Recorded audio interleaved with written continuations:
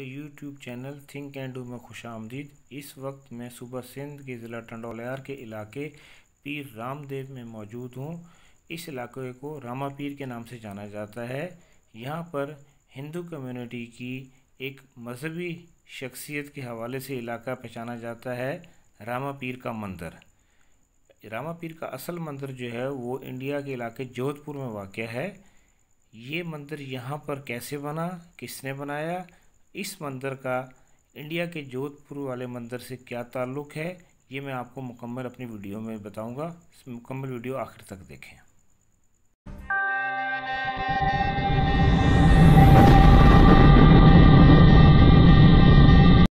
ये रामा पीर का main entrance रास्ता यह हाल है। यहाँ पर बेल एक घंटी लगी हुई है। आने वाले तकरीबन सब लोग इस बेल को बजाते हैं। वसी हाल है इसमें तकरीबन दोनों जानब मुख्तलिफ़ मूर्तियाँ लगी हुई हैं। ये इस टाइम सामने रामदेव पीर की मूर्ति है। सर ये इनके बारे में मुझे बताएँगे कि क्या है नाम है? ये श्री रामदेव साहब है। अच्छा। जिनका मंदिर है। जी जी जी। और जोधपुर में भी इनका मंदिर है। सही है। और यहाँ भी इनका है। ठीक ठीक। बड़ा मेला जोधपुर लगता है। जी जी। दूसरा पाकिस्तान में बड़ा मेला यहाँ पे। ठीक ठीक ठीक ठीक नोलियार नोलियार के अंदर ये दूसरा बड़ा मेला। तो मैं अंदर जा सकता हूँ?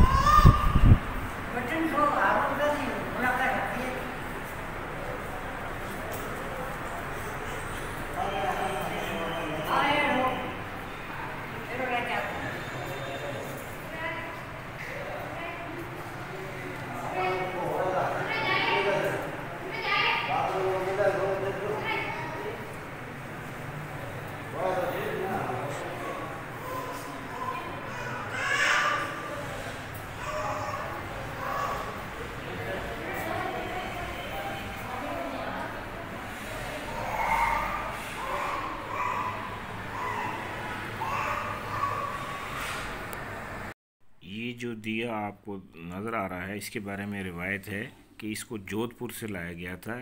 यहाँ से टंडोलियार से खतरी गया था। उसने मन्नत मानी थी औलाद के हवाले से और वापसी में वो दिया या मशल वहाँ से लेके आया था और यहाँ छोटा सा एक मंदिर बनाकर उस दिए को यहाँ जलाया था और जब से लेकर अब तक ये दिया मुस्तकिल यहाँ पर जल रहा है, तकरीबन अढ़ाई सौ साल हो चुके हैं रवायत के हिसाब से और ये उसकी मन्नत के मुताबिक ये दिया यहाँ पर जल रहा है।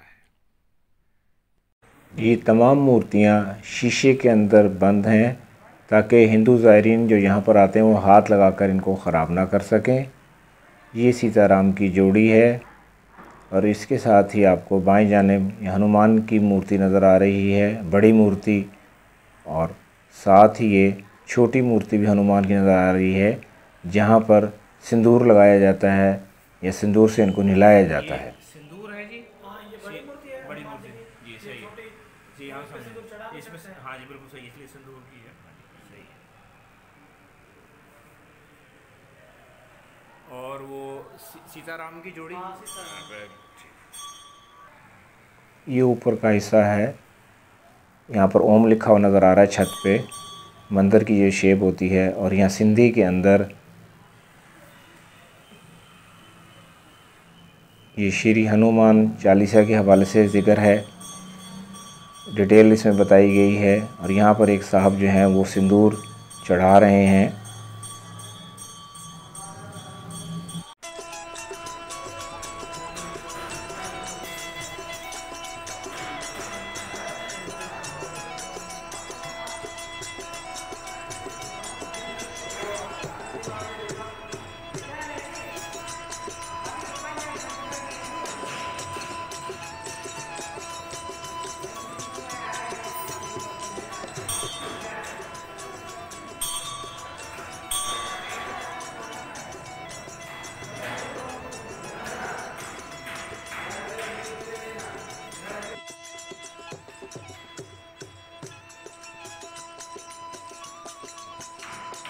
ये शिवलिंग पत्थर अमूमन ये काले रंग का होता है और इसको दूध से धोया जाता है। दूध डालने वाले बर्तन भी नज़र आ रहे हैं और बाल्टी में दूध और गुलाब भी नज़र आ रहा है।